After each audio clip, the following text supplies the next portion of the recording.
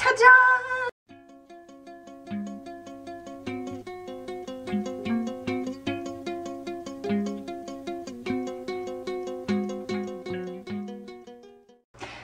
Good morning, everyone. It's Lisa. Welcome back to my channel. It is Weigh In Wednesday this Wednesday.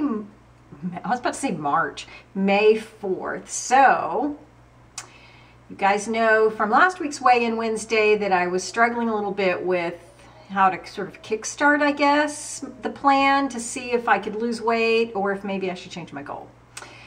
Still pondering the goal part, but there were a couple of things I did differently this week. But first, I'll get to my weigh in.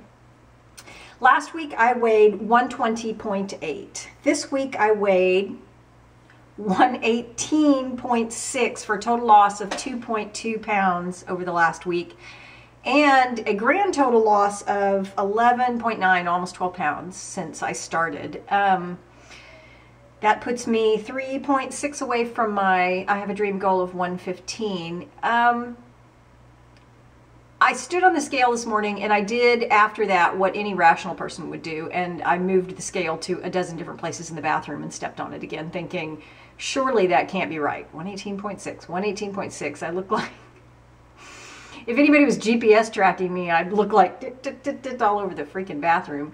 Um, so one of the things I did this week was think really hard about whether or not I was going to eat all my weeklies.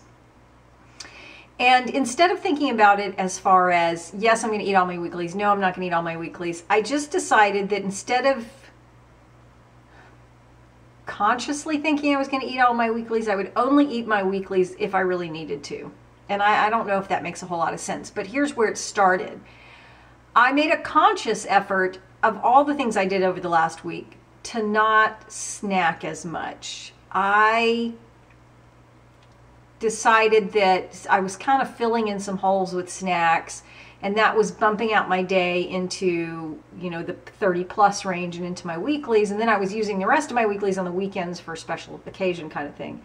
So I decided I was just going to really try hard to not eat so much between meals. Um, it worked on some days. Some days I had more snacks than others, though. But the underlying revelation that came to me in the last couple of days is that there were times when I was truly, I shouldn't say it quite that way. There were times that I was hungry. And I don't mean I'm really hungry and I need to eat. It was more like I'm sitting there thinking, my stomach's kind of growly. And I would drink some water, and most of the times it would go away.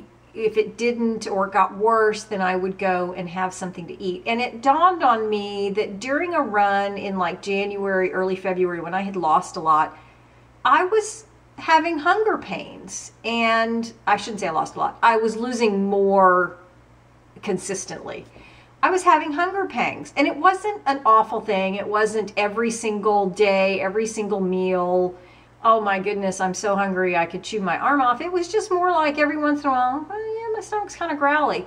And, you know, 90% of the times water would take care of it. And I, I that kind of little light bulb in my head this week made me realize that for, for me personally, in a weight loss mode, there are times I need to be a little bit hungry. I don't need to be starving, but I also don't need to be sated 100% of the time. And I, I realize now, and I'm hopefully by video logging this, I can remember that in a maintenance mode, I can eat 30 points a day and you know 21 28 30 weeklies and feel sated and not lose weight. But in order for me to lose weight i'm going to have to have those times where i think i think i might be hungry and kind of go from there and be okay with it. Um, it's not i don't want anybody to get any wrong ideas. I'm not starving myself. It's not an uncomfortable sensation. I'm not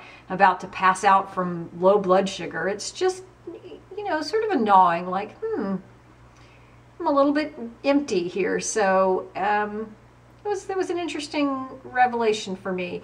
So for the moment, given that, I'm going to try to approach the next couple of weeks that way.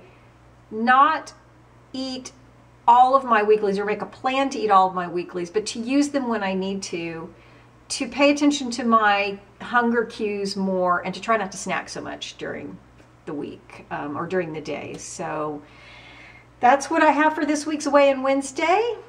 Thanks so much for watching. I appreciate each and every one of you. If you like what you see, be sure to subscribe to my channel so you get updates on when I post new videos. And I will talk to you soon.